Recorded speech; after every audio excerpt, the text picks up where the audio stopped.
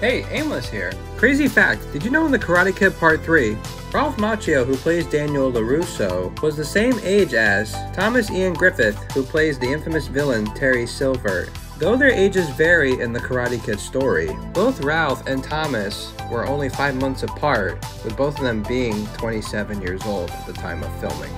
Follow me for more aimless Deetz.